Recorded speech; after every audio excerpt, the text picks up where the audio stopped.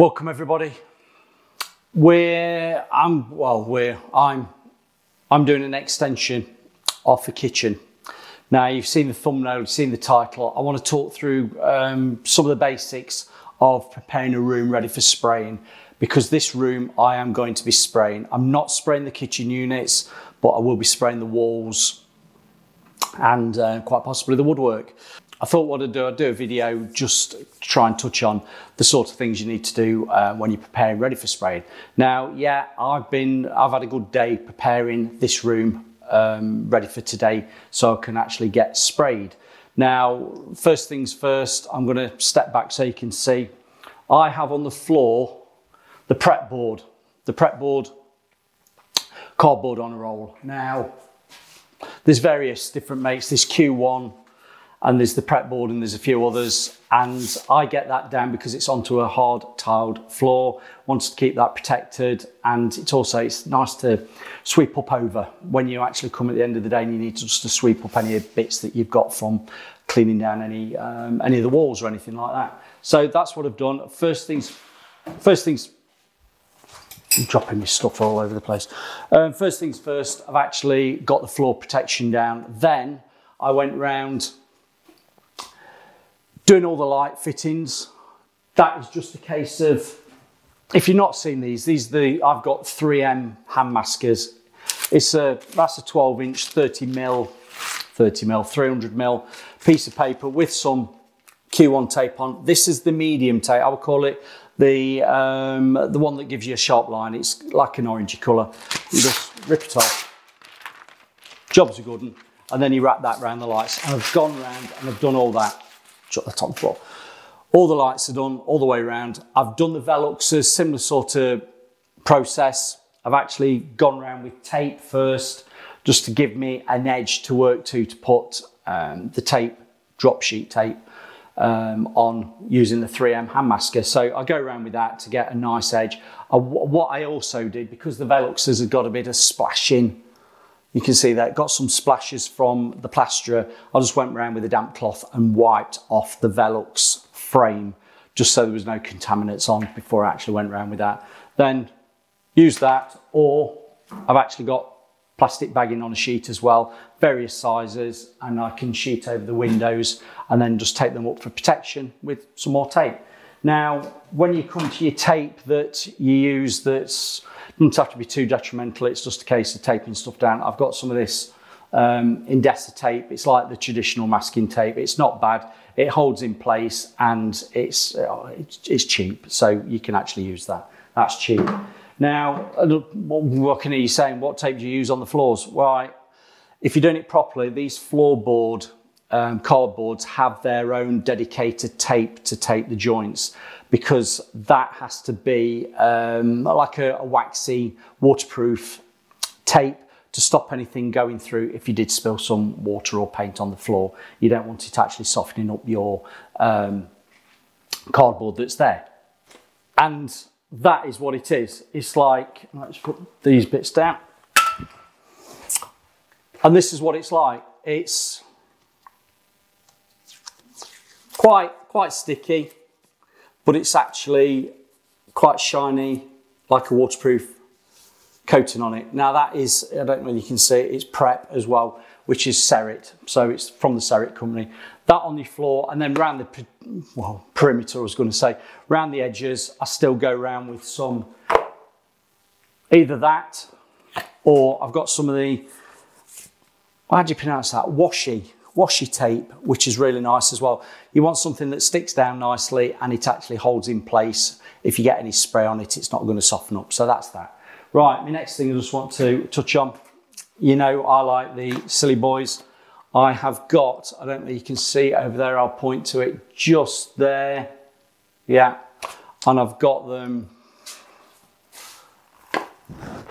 just here the light fittings and sockets. Now, I've not used them on that because it was a, well, a double socket and a single, and I couldn't get them off far enough to actually put my Silly Boys um, protectors on, but I have done that all the way around.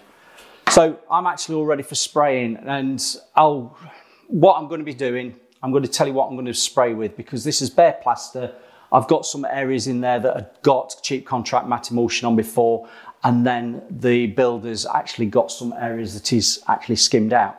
So my preparation for this room was, once I'd got everything bagged up, and I'd even, I've even, look, look how good I've been. I've even bagged up the new trifold doors, you can see that.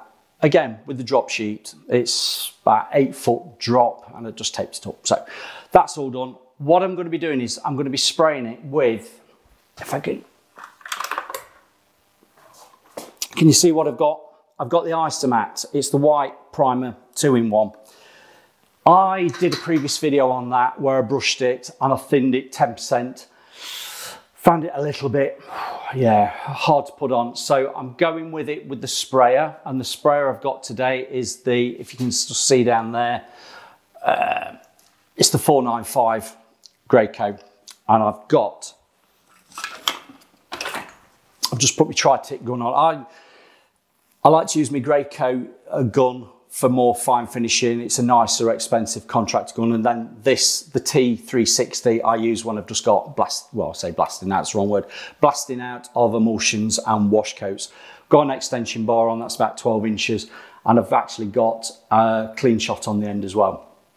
I'm using a 516 spray tip. If you want to know about spray tips and spraying in there on a Tritech guard. Now, I want to spray this, the Isomat primer, the two-in-one, and I've thinned it down more. Having spoken to a few people, they just say, oh yeah, you thin it down and just use it as a wash coat. Now that's what I'm going to be doing.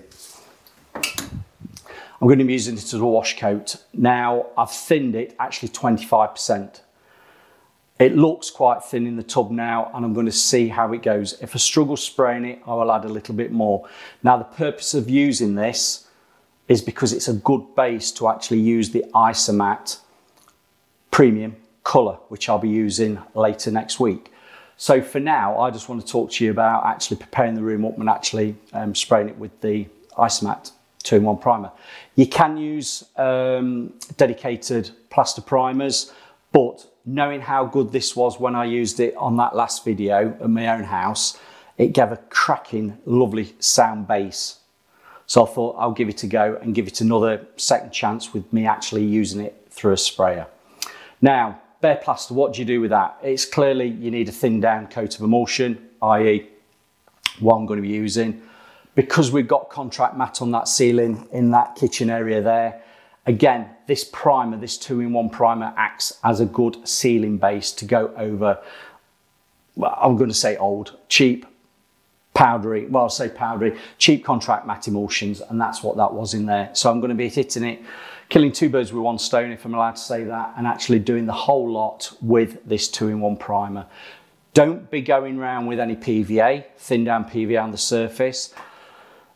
On your bare plaster, all I've done, you don't go around sanding it, but I do have a sanding pad on my pole and I just literally knock anything off and you say, what, knock anything off? Where the plaster has probably splashed some plaster onto the surface, I literally lightly go over the surface just to knock any of that off before I actually come to spray.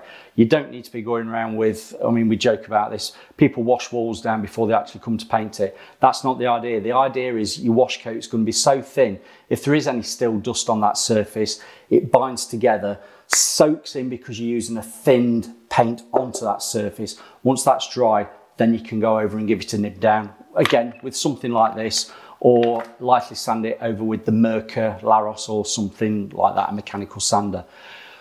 Those areas in there that are actually previously painted, I have gone over with the Mirka Leros just to improve, I don't know whether you can see that, just to improve where there's been some um, uh, care's not been done when it comes to painting and there's been some splashes and bits and pieces like that. So those areas I have actually gone over carefully with the Mirka, but I am not going over any bare plaster with the Mirka. So I think I've covered everything for now. I'll just move you around so you can have a look where we are with everything else. If I can move you off there. And then what I'm going to do is just get some spraying done and then I'll talk to you at the end of what it looks like. Can you see me? There you go. So these areas here, clearly that in the centre is new plaster. I've not rubbed that down. I have gone over the wall areas there that are um, previously painted and the ceiling with the Mirka Leros, and that's where we are now. So you can just span. All those windows are bagged up. All the kitchen units are all bagged up, and I'm going to be getting the paint out now, having a little practice on a sample piece of papers there to make sure my fan pattern's all right and it's spraying fine. If I do need to thin it, that's at the stage that I will be thinning it and adding more. So I'm going to sign out for now. I will see you later on um, when we've got it all coated all out. And you're probably saying to me, what about the woodwork? Do you know what? That'll be another video. That'll be another video. We will talk about the preparation, which is straightforward sanding, but another video will be uh, the woodwork. And I will use the um, possibly mm, quick shot. Yes. Right, see you in a bit. There we have it. I think I've been no more than 20 minutes since I last spoke to you. Now, if you remember, I told you I was using uh, a, a 516 tip, which is the gold Tritech. Now, I started spraying, and you know what? That's one of my tips I should throw away, and I'm going to throw it away now because that was slightly blocked. It was giving me an uneven fan pattern. It was spraying fine, uneven fan pattern, and I thought, let's swap out. So what I've actually gone to, what do you normally spray emulsion with? 517. So that's the, the turquoisey coloured 517. That sprayed lovely. I had a little bit of a tail to the paint, which not a big thing, just crank your pressure up slightly. I think I've gone more than what I'd normally want to go to. I'm around about 2200, which is wow, I would say fine. It's actually sprayed really nicely. So I'm going to say I've got a result. I've not got a lot of, you're always going to get bounce back and depending on how you spray some of these, like the bulkhead, there's going to be a little bit of spray in the air that is classed as fallout. It's not really overspray as in clouds of dust. I've not had clouds of dust. I've had my mask on and I've had the Max Vac. You can probably hear it there just, uh, just there, running at full power, well, just under full power, and it's actually kept the air quite, well, fresh, I should say. But yes, that has gone on fine. It's sprayed lovely. That was at 25%. I would probably say next time round, I would try it at 30. The obliteration, i.e. the opacity, has, well, surprised me. I didn't think it would be as good as that onto bare plaster. You can just see down there. It's gone on nicely. I've done a 50-50 overlap. Technique wise, I was probably more of a case of trying to step round things to try and get it sprayed and going where I could. So this is only the wash coat, i.e. the first coat onto the bare plaster. Once that's dried, tomorrow I can go round and just nib down the surface. If there's any little cracks or filling needed, there's a slight hairline crack just there. I can address that at this stage because it shows. So all in all, really impressed with that Isomat two-in-one primer as uh, a bare plaster primer. Remember that video there, I struggled brushing it at 10%. Add more water to it, make it easy. It make work, work smarter, not harder. But spraying, 25%, I would probably go to 30% next time round. I would say it's a, it's a cracking base coat. It will give me a nice surface now to actually put the Isomat premium colour on, which I will more than likely spray it as well. So all in all, I think I've covered everything on this section. The next section you'll see me, because we don't want to go into 30 minute videos on spraying, I'm just going to talk to you about the woodwork, which is already prepared, but I'll go into that in a little bit more depth on the next video. Right, thank you very much. Please watch the videos at the end.